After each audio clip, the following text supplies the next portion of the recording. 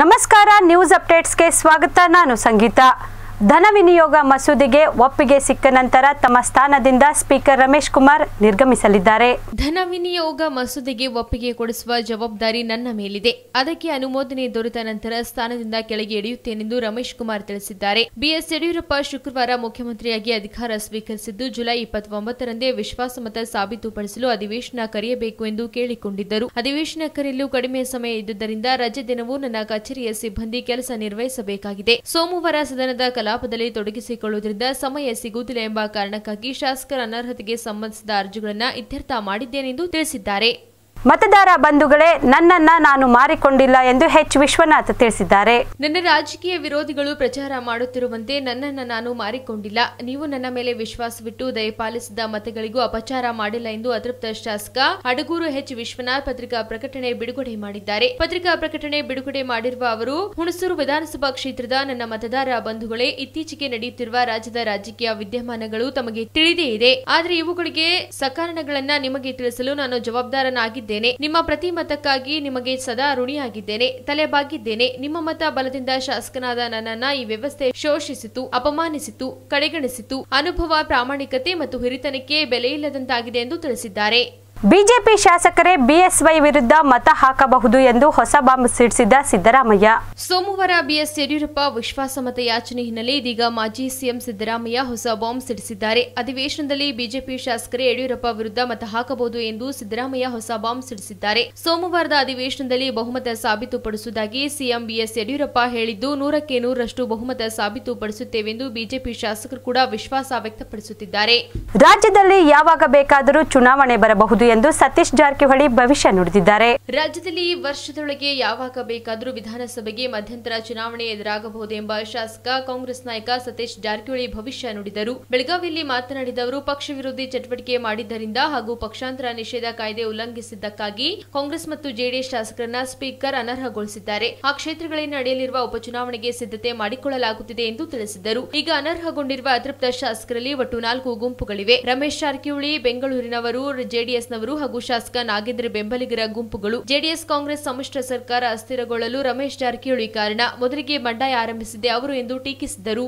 ಶಾಸಕರ ಅನರ್ಹಗೊಳಿಸಿದ್ದು ಹೊಸದೊಂದು ಕರಾಳ ಅಧ್ಯಾಯ ಎಂದು ಕೇಂದ್ರ ಸಂಸದೀಯ ವ್ಯವಹಾರಗಳ ಸಚಿವ ಪ್ರಹ್ಲಾದ್ ಜೋಶಿ ಟೀಕಿಸಿದ್ದಾರೆ.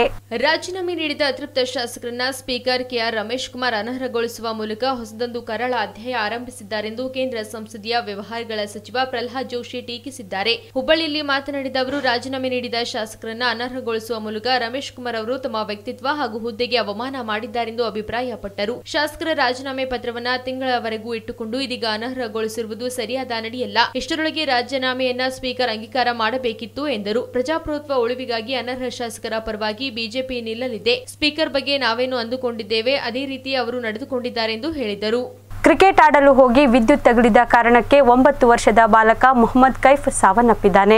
ಶಾಲೆಗೆ ರಜೆ ಎಂದು ಗೆಳೆಯರೊಂದಿಗೆ ಕ್ರಿಕೆಟ್ ಆಡಲು ಹೋದಾಗ ವಿದ್ಯುತ್ ತಗುಲಿ ಒಂಬತ್ತು ವರ್ಷದ ಬಾಲಕ ಮೊಹಮ್ಮದ್ ಕೈಫ್ ತಂದೆ ಮಹಿಬೂಬ್ ಎಂಬ ವಿದ್ಯಾರ್ಥಿ ಸಾವನ್ನಪ್ಪಿರುವ ಘಟನೆ ಚಿತ್ತಾಪುರ ತಾಲೂಕಿನ ರಾವೂರ್ ಗ್ರಾಮದಲ್ಲಿ ನಡೆದಿದೆ. ರಾವೂರ್ ಗ್ರಾಮದ ಮೊಹಮ್ಮದ್ ಕೈಫ್ ಎಂಬ ಬಾಲಕ ಕ್ರಿಕೆಟ್ ಆಡುತ್ತಿರುವಾಗ ಹೊಡೆದ ಚೆಂಡು ಶಾಲಾ ಒಳಾಂಗಣದಲ್ಲಿ ಬಿದ್ದಿರುವುದನ್ನ ತೆಗೆದುಕೊಂಡು ಬರುತ್ತಿರುವಾಗ ಕಟ್ಟಡದ ಮೇಲುಗಡೆ ಇದ್ದ ವಿದ್ಯುತ್ ತಂತಿ ತಗುಲಿ ಗಂಭೀರ ಗಾಯಕ್ಕೆ ಒಳಗಾಗಿದ್ದು ಚಿಕಿತ್ಸೆ ಫಲಕಾರಿಯಾಗದೆ ಆಸ್ಪತ್ರೆಯಲ್ಲಿ ಸಾವನ್ನಪ್ಪಿದ್ದಾನೆ ಎಂದು ತಿಳಿದು ಬಂದಿದೆ. ಈ ಕುರಿತು ವಾಡಿ ಪೊಲೀಸ್ ಠಾಣೆಯಲ್ಲಿ ಪ್ರಕರಣ ದಾಖಲಾಗಿದೆ. ನನ್ನ ಜೀವನ ನನ್ನ ಸಾಧನೆ ಪುಸ್ತಕವನ್ನ ಬಿಡುಗಡೆ ಮಾಡಿದ ಸಂಸದ ಭಗವಂತ್ ಖುಬಾ. ಬೀದರ್ ನಗರದ ಶರಣ ಉದ್ಯಾನವನದಲ್ಲಿ ಕನ್ನಡ ಸಾಹಿತ್ಯ ಪರಿಷತ್ ವತಿಯಿಂದ ಬಸವ ಕಿರಣ ಅಕ್ಕ ಅನ್ನಪೂರ್ಣ ತಾಯಿಯವರು ರಚಿಸಿದ ನನ್ನ ಜೀವನ ನನ್ನ ಸಾಧನೆ ಪುಸ್ತಕ ಬಿಡುಗಡೆ ಮಾಡಲಾಯಿತು. ಈ ಕಾರ್ಯಕ್ರಮದಲ್ಲಿ ಲೋಕಸಭಾ ಸದಸ್ಯರಾದ ಭಗವಂತ ಖೂಬಾ ಅವರು ಉಪಸ್ಥಿತರಿದ್ದರು. ಇನ್ನು ಪುಸ್ತಕವನ್ನ ಭಗವಂತ ಖೂಬಾ ಬಿಡುಗಡೆ ಲೋಕಾರ್ಪಣೆ ಮಾಡಿದರು.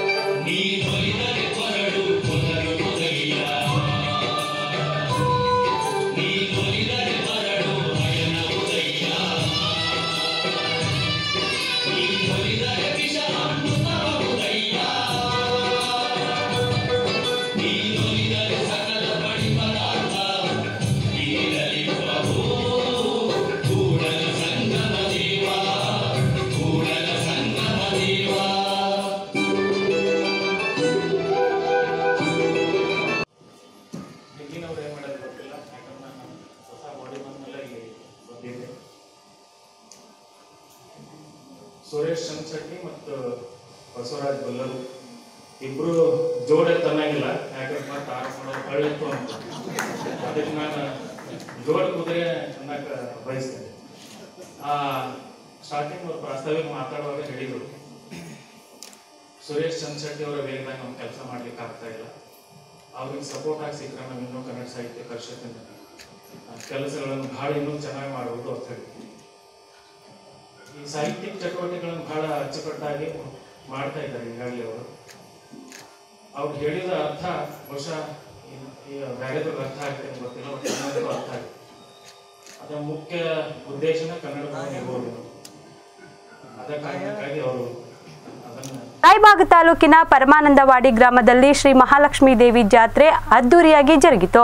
ಕರ್ನಾಟಕದ ದಸರೆ ಎಂದು ಖ್ಯಾತಿ ಹೊಂದಿರುವ ಬೆಳಗಾವಿ ಜಿಲ್ಲೆಯ ರಾಯಬಾಗ ತಾಲೂಕಿನ ಶ್ರೀ ಕ್ಷೇತ್ರ ಪರಮಾನಂದವಾಡಿ ಗ್ರಾಮದ ಗ್ರಾಮ ದೇವತೆ ಶ್ರೀ ಮಹಾಲಕ್ಷ್ಮೀ ದೇವಿ ಜಾತ್ರೆ ಸಡಗರದಿಂದ ನಡೆಯಿತು.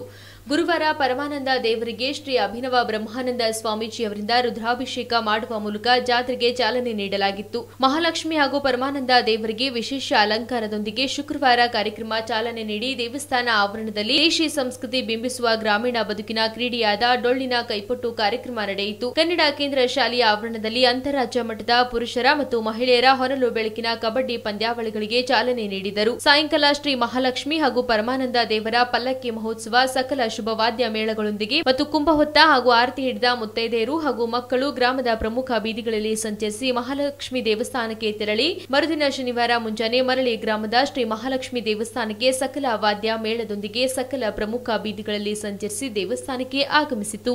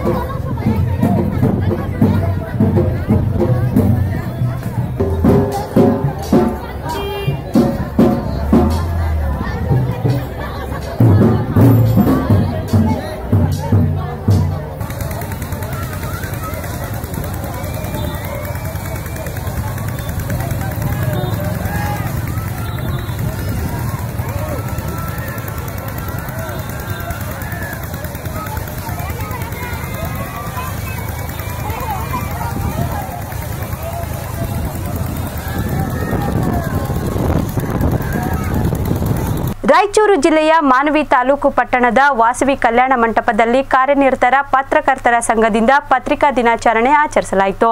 ರಾಯಚೂರಿನ ರಿಪೋರ್ಟರ್ಸ್ ಗಿಲ್ಡ್ನಿಂದ ಹಮ್ಮಿಕೊಂಡಿದ್ದ ಪತ್ರಿಕಾ ದಿನಾಚರಣೆ ಮತ್ತು ವಾರ್ಷಿಕ ಪ್ರಶಸ್ತಿ ಪ್ರದಾನ ಸಮಾರಂಭ ನಡೆಯಿತು. ಕಾರ್ಯಕ್ರಮವನ್ನು ಉದ್ದೇಶಿಸಿ ಮಾತನಾಡಿದ ಕರ್ನಾಟಕ ರಾಜ್ಯ ನಿರ್ವಾಹಕ ಪತ್ರಕರ್ತರ ಸಂಘದ ರಾಜ್ಯಾಧ್ಯಕ್ಷ ಶಿವಾನಂದ ತಗಡೂರು ಈಗ ಸುದ್ದಿಗಳನ್ನು ಸಂಪಾದಿಸುವುದು ದೊಡ್ಡ ಕೆಲಸವೇ ಅಲ್ಲ. ನಾವು ಇರುವಲ್ಲಿಯೇ ಸುದ್ದಿ ಬರುತ್ತವೆ. ಆದರೆ ಅದರಲ್ಲಿ ಯಾವುದು ಸುದ್ದಿ, ಯಾವುದು ಅಲ್ಲ ಎಂದು ಹೆಕ್ಕಿ ತೆಗೆಯುವ ಜಾಣತನವನ್ನ ಪತ್ರಕರ್ತರು ರೂಢಿಸಿಕೊಳ್ಳಬೇಕು ಎಂದರು. ನಂತರ ಪ್ರಾಸ್ತಾವಿಕವಾಗಿ ಮಾತನಾಡಿದ ಪತ್ರಕರ್ತ ಹಮೀದ್ ಪಾಳ್ಯ ಅವರು, ಮಾಧ್ಯಮಗಳ ಮೇಲೆ ಜನ ಭರವಸೆ ಇಟ್ಟಿದ್ದಾರೆ. ಆ ವಿಶ್ವಾಸಾರ್ಹತೆ ಉಳಿಸಿಕೊಳ್ಳುವ ನಿಟ್ಟಿನಲ್ಲಿ ಮಾಧ್ಯಮಗಳು ಕಾರ್ಯನಿರ್ವಹಿಸಬೇಕಾಗಿದೆ ಎಂದು ಹೇಳಿದರು.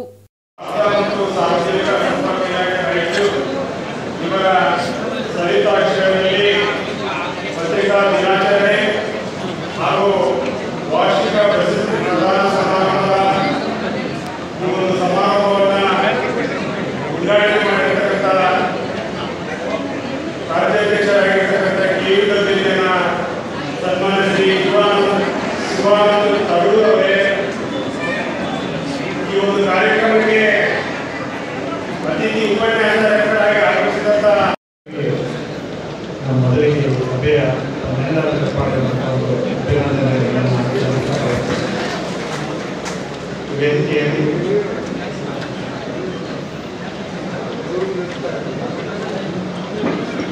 ಮಂಡ್ಯದಲ್ಲಿ ಇದ್ದಂಥ ಸಂದರ್ಭದಲ್ಲಿ ಹಿರಿಯ ಜಿಲ್ಲಾ ಪತ್ರಕರ್ತರ ಸಂಘ ಕಟ್ಟಡದ ಉದ್ಘಾಟನೆಗಾಗಿ ಬಂದರೆ ನಾವು ಕಾರಣಕ್ಕೆ ಜೊತೆಗೆ ನಮಗೆ ಅದು ಅಲ್ಲಿ ಜಿಲ್ಲಾ ಪಂಚಾಯತ್ ಸಿಇಒ ಆಗಿದ್ದಂಥ ಸಂದರ್ಭದಲ್ಲಿ ಬಹಳ ಸಹಕಾರ ಕೊಟ್ಟಿರುವಂಥದ್ದು ಈಗ ನಿಮ್ಮಲ್ಲಿ ಜಿಲ್ಲಾಧಿಕಾರಿಗಳಾಗಿದ್ದಾರೆ ಅತ್ಯಂತ ಕ್ರಿಯಾಶೀಲವಾದಂಥ ಶರತ್ ಜಿಲ್ಲಾಧಿಕಾರಿಗಳಾದಂಥ ಶಿವಣ್ಣವರು ಹಾಗೆ ಇದೇ ಕ್ಷೇತ್ರದ ಶಾಸಕರಾದಂಥ ರಾಜಾ ವೆಂಕಟಪ್ಪ ನಾಯಕ್ ಅವರು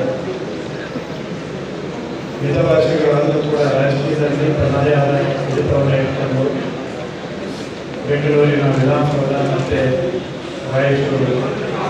ತಾಯಿ ಹಾಗೂ ಮಗುವಿನ ಕರಳು ಬಳ್ಳಿ ಸಂಬಂಧ ಎಂತಹದ್ದು ಎಂಬುದಕ್ಕೆ ಮಂಗನ ಮಮತೆಯ ಮನ ಕಲುಕುವ ಘಟನೆಯೊಂದು ಸಾಕ್ಷಿಯಾಗಿದೆ. ಬಾಗಲಕೋಟೆ ಜಿಲ್ಲೆಯ ತೇರ್ದಾಳ್ ಪಟ್ಟಣದಲ್ಲೊಂದು ಮನ ಮಿಡಿಯುವ ಪ್ರಸಂಗ ನಡೆದಿದೆ. ತಾಯಿ ಹಾಗೂ ಮಗುವಿನ ಕರುಳ ಬಳ್ಳಿಯ ಸಂಬಂಧ ಎಂತಹುದು ಎಂಬುದಕ್ಕೆ ಮಂಗನ ಮಮತೆಯೇ ಸಾಕ್ಷಿಯಾಗಿದೆ. ಪಟ್ಟಣದ ಕಾರ್ಪೊರೇಷನ್ ಕಾಲೋನಿಯಲ್ಲಿ ತಾಯಿ ಮಂಗವೊಂದು ಸತ್ತ ಮರಿಯ ಅಸ್ಥಿ ಪಂಜರ ಹಿಡಿದು ಓಡಾಡುತ್ತಿರುವ ದೃಶ್ಯ ಕ್ಯಾಮೆರಾದಲ್ಲಿ ಸರಿಯಾಗಿದೆ. ಮಗು ಸತ್ತು ತಿಂಗಳ ಮೇಲಾದರೂ ಮಂಗ ಮರಿಯನ್ನ ದೂರ ಮಾಡಿಲ್ಲ. ತನ್ನ ಮಗು ಬದುಕಿದೆ ಎಂಬ ಭಾವನೆಯಲ್ಲಿ ಇರುವ ಮಂಗ ಅದರ ಅಸ್ಥಿ ಪಂಜರವನ್ನ ಹೊತ್ತು ತಿರುಗಾಡುತ್ತಿದೆ ಮರಿಯ ದೇಹವೆಲ್ಲ ಸೊರಗಿದ್ದು ಕೇವಲ ಅಸ್ಥಿ ಪಂಜರ ಮಾತ್ರ ಉಳಿದುಕೊಂಡಿದೆ. ಆದ್ರೂ ಮರಿಯನ್ನ ಬಿಡದ ತಾಯಿ ಕರುಳ ಬಳ್ಳಿಯನ್ನ ಹೊತ್ತು ಅಲೆದಾಡುತ್ತಿರುವುದು ಎಲ್ಲರ ಮನ ಬಿಡಿಯುವಂತೆ ಮಾಡಿದೆ.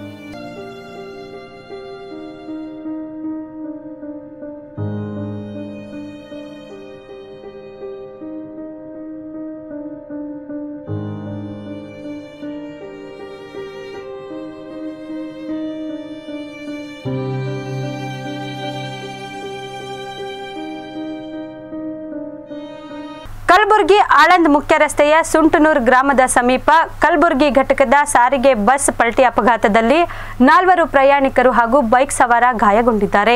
ಆಳಂದ ಪಟ್ಟಣಕ್ಕೆ ಹೊರಟಿದ್ದ ಬಸ್ ಚಾಲಕನ ನಿಯಂತ್ರಣ ತಪ್ಪಿ ಪಲ್ಟಿ ಹಿಡಿದು ರಸ್ತೆ ಬದಲಿ ಮಳೆಯಿಂದ ಆಶ್ರಯ ಪಡೆಯುತ್ತಿದ್ದ ಬೈಕ್ ಮೇಲೆ ಬಿದ್ದಿದೆ. ಬೈಕ್ ಅಪ್ಪಚ್ಚಿಯಾಗಿದೆ. ಬೈಕ್ ಸವಾರ ಆಶಿಫ್ ತೀವ್ರವಾಗಿ ಗಾಯಗೊಂಡಿದ್ದಾನೆ. ಬಸ್ ಪ್ರಯಾಣಿಕರಾದ ರುಕ್ಮಿಣಿ ಜಡ್ಗ, ಶೈಲೇಶ್ ರುದ್ರವಾಡಿ, ಆಳಂದ ಅಬ್ದುಲ್ ಮಜೀದ್ ಅವರಿಗೆ ಸಣ್ಣಪುಟ್ಟ ಗಾಯಗಳಾಗಿವೆ. ಗಾಯಾಳುಗಳನ್ನು ಕಲಬುರಗಿಯ ಜಿಲ್ಲಾ ಆಸ್ಪತ್ರೆಗೆ ಸೇರಿಸಲಾಗಿದೆ. ಕಲಬುರಗಿ ಗ್ರಾಮೀಣ ಠಾಣೆ ವ್ಯಾಪ್ತಿಯಲ್ಲಿ ಘಟನೆ ನಡೆದಿದೆ. ಚಲಿಸುತ್ತಿದ್ದ ಕಾರಿಗೆ ಆಕಸ್ಮಿಕವಾಗಿ ಬೆಂಕಿ ತಗುಲಿ ಸಂಪೂರ್ಣವಾಗಿ ಭಸ್ಮವಾದ ಘಟನೆ ಬೆಂಗಳೂರಿನ ಆನೇಕಲ್ ತಾಲೂಕಿನ ಅತ್ತಿಬೆಲೆ ಫ್ಲೈಓವರ್ ಮೇಲೆ ನಡೆದಿದೆ. ಬೆಂಗಳೂರಿನ ಜೆಪಿ ನಗರ ನಿವಾಸಿ ಸೈಯದ್ ಎಂಬುವರು ತಮ್ಮ ಕುಟುಂಬಸ್ಥರೊಂದಿಗೆ ಕಾರ್ನಲ್ಲಿ ತಮಿಳುನಾಡಿಗೆ ಹೊಸೂರಿನತ್ತ ತೆರಳುತ್ತಿದ್ದರು. ಈ ವೇಳೆ ಇದ್ದಕ್ಕಿದ್ದಂತೆ ಕಾರ್ನಲ್ಲಿ ಕಾಣಿಸಿಕೊಂಡಿದೆ. ಆಗ ತಕ್ಷಣ ಕಾರ್ನ ನಿಲ್ಲಿಸಲಾಗಿದೆ. ಇದರಿಂದ ಕಾರ್ನಲ್ಲಿದ್ದ ಹತ್ತು ಮಂದಿ ಪ್ರಾಣಾಪಾಯದಿಂದ ಪಾರಾಗಿದ್ದಾರೆ. ಸ್ಥಳಕ್ಕೆ ಅಗ್ನಿಶಾಮಕ ದಳದ ಸಿಬ್ಬಂದಿ ಬರೋದೊಳಗೆ ಕಾರು ಸಂಪೂರ್ಣ ಭಸ್ಮವಾಗಿತ್ತು. ಅತ್ತಿಬೆಲೆ ಪೊಲೀಸ್ ಠಾಣೆಯಲ್ಲಿ ಪ್ರಕರಣ ದಾಖಲಾಗಿದೆ. ಬರ್ರಿ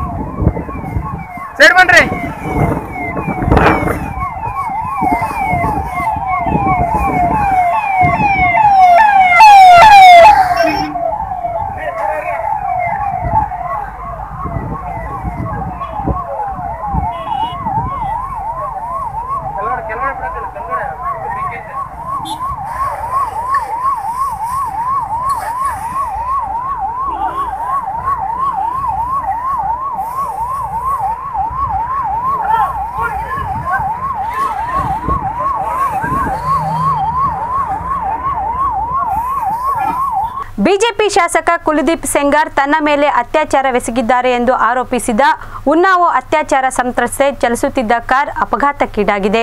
ರಾಯಬರೇಲಿಯಲ್ಲಿ ಸಂತ್ರಸ್ತೆ ಸಂಚರಿಸುತ್ತಿದ್ದ ಕಾರಿಗೆ ಟ್ರಕ್ ಡಿಕ್ಕಿ ಹೊಡೆದಿದ್ದು ಈಕೆಯ ಪರಿಸ್ಥಿತಿ ಗಂಭೀರವಾಗಿದೆ. ಈಕೆಯ ಜತೆ ಅತ್ತೆ ಮತ್ತು ವಕೀಲ ಮಹೇಂದ್ರ ಸಿಂಗ್ ಕಾರ್ನಲ್ಲಿದ್ದು ಅಪಘಾತ ಸ್ಥಳದಲ್ಲೇ ಇವರು ಮೃತಪಟ್ಟಿದ್ದಾರೆ. ಸಂತ್ರಸ್ತೆಯನ್ನು ಲಖನೌ ಆಸ್ಪತ್ರೆಗೆ ದಾಖಲಿಸಲಾಗಿದೆ. ರಾಯಬರೇಲಿ ಜೈಲಿನಲ್ಲಿರುವ ಮಾವ ಮಹೇಶ್ ಸಿಂಗ್ ಅವರನ್ನ ಭೇಟಿ ಮಾಡಲು ಹೋಗುತ್ತಿದ್ದಾಗ ಈ ಅಪಘಾತ ಸಂಭವಿಸಿದೆ. ಬಿಜೆಪಿ ಶಾಸಕ ಕುಲ್ದೀಪ್ ಸೆಂಗಾರ ತನ್ನ ಮೇಲೆ ಅತ್ಯಾಚಾರ ನಡೆಸಿದ್ದಾರೆಂದು ಈ ಮಹಿಳೆ ಆರೋಪಿಸಿದ್ದರು. ಎರಡ್ ಸಾವಿರದ ಹದಿನೆಂಟರಿಂದ ಕುಲ್ದೀಪ್ ತನ್ನ ಸಹೋದರ ಅತುಲ್ ಸಿಂಗ್ ಜೊತೆ ಜೈಲಿನಲ್ಲಿದ್ದಾರೆ ವಿಶೇಷ ಕ್ವಿಜ್ ಗೆದ್ದ ಚಿನ್ನರಿಗೆ ಸಿಗಲಿದೆ ಚಂದ್ರಯಾನ ಟೂ ನೋಡುವ ಅವಕಾಶ. ಕೇಂದ್ರ ಸರ್ಕಾರವು ಶಾಲಾ ಮಕ್ಕಳಿಗಾಗಿ ದೇಶಾದ್ಯಂತ ವಿಶೇಷ ರಸಪ್ರಶ್ನೆ ಕಾರ್ಯಕ್ರಮವನ್ನು ಆಯೋಜಿಸಲಿದ್ದು, ಸ್ಪರ್ಧೆಯಲ್ಲಿ ಗೆದ್ದ ಮಕ್ಕಳು ಸೆಪ್ಟೆಂಬರ್ನಲ್ಲಿ ಚಂದ್ರನ ಅಂಗಳ.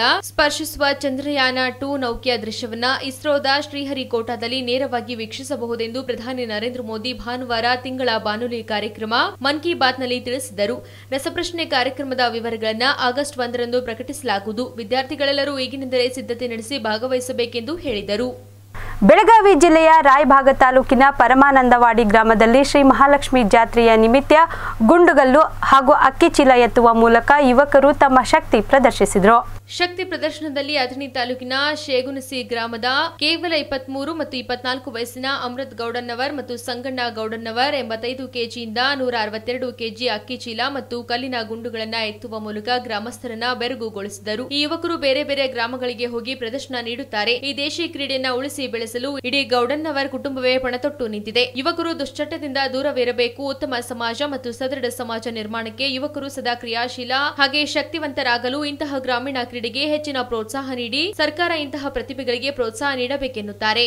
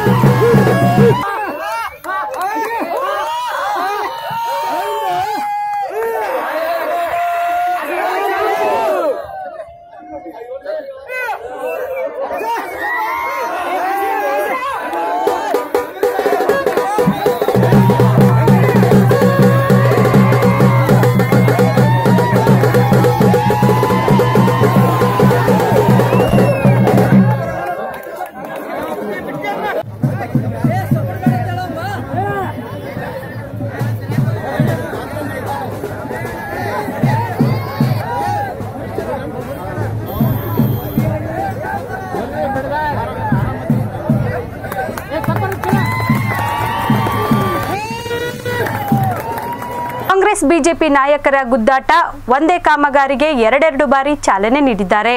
ಕಾಂಗ್ರೆಸ್ ಬಿಜೆಪಿ ನಾಯಕರ ಬಹಿರಂಗ ಗುದ್ದಾಟ ಬೆಳಕಿಗೆ ಬಂದಿದ್ದು, ಒಂದೇ ಕಾಮಗಾರಿಗೆ ಎರಡೆರಡು ಬಾರಿ ಚಾಲನೆ ಕೊಟ್ಟಿದ್ದು ಗಮನಾರ್ಹ. ಒಂದೇ ದಿನ ಒಂದೇ ಕಾಮಗಾರಿಗೆ ಕಾಂಗ್ರೆಸ್ ಹಾಗೂ ಬಿಜೆಪಿ ವರಿಷ್ಠ ನಾಯಕರು ಪ್ರತ್ಯೇಕವಾಗಿಯೇ ಚಾಲನೆ ನೀಡಿದ್ದಾರೆ. ಬೆಳಗಾವಿಯ ಎಪಿಎಂಸಿ ಪ್ರದೇಶದಲ್ಲಿ ವಿವಿಧ ಅಭಿವೃದ್ಧಿ ಕಾಮಗಾರಿಗಳಿಗೆ ಮುಂಜಾನೆ ಮಾಜಿ ಸಚಿವ ಸತೀಶ್ ಜಾರಕಿಹೊಳಿ ಹಾಗೂ ಲಕ್ಷ್ಮೀ ಹೆಬ್ಬಾಳ್ಕರ್ ಚಾಲನೆ ನೀಡಿದ್ದರೆ. ಇದಾದ ಕೆಲವೇ ತಾಸುಗಳ ನಂತರ ಇದೇ ಕಾಮಗಾರಿಗೆ ಕೇಂದ್ರ ರೈಲ್ವೆ ಸಚಿವ ಸುರೇಶ್ ಅಂಗಡಿ ಹಾಗೂ ಶಾಸಕ ಅನಿಲ್ ಬೆನಕೆ ಸಹ ಮರುಚಾಲನೆ ನೀಡಿದ್ದಾರೆ. ಜನಪ್ರತಿನಿಧಿಗಳ ಮುಸುಕಿನ ಗುದ್ದಾಟ ಎಂಬ ಅಭಿಪ್ರಾಯಕ್ಕಿಂತ ಬಹಿರಂಗ ಯುದ್ಧ ಎಂದು ಬಣ್ಣಿಸಲಾಗಿದೆ ಈ ಮಧ್ಯೆ ಸರ್ಕಾರಿ ಅಧಿಕಾರಿಗಳು ತೀವ್ರ ಪೇಚಿಗೆ ಸಿಲುಕಿದ್ದಾರೆ